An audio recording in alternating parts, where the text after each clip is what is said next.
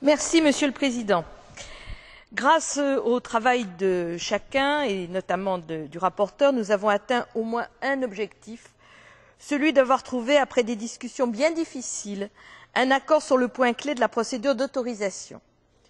Notre position sur cette question était de bon sens. Il s'agissait, d'une part, de garantir la viabilité du système, en clair d'éviter que l'ECHA ne soit surchargé d'un seul coup de demandes et ne puisse pas répondre, deuxièmement, de favoriser un système qui encourage les produits à faible risque.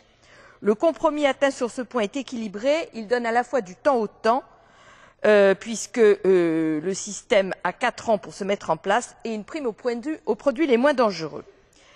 Sur le reste, si nous soutenons les amendements visant à donner de la flexibilité au système, comme les formulations cadres, nous refusons que cela se fasse à n'importe quel prix.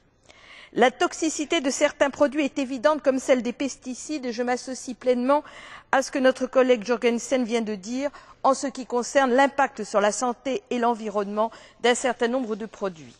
Pour cette raison, nous rejetons toute disposition qui pourrait conduire à remettre en cause la qualité de l'évaluation des produits ou à amoindrir le système incitant à la substitution des substances les plus préoccupantes c'est la raison pour laquelle une série d'amendements qui viennent d'être déposés sont parfaitement déséquilibrés et ne peuvent être soutenus. ne nous y trompons pas ceci est le résultat d'un arbitrage qui donne la priorité aux intérêts de court terme sur la protection de la santé et de l'environnement.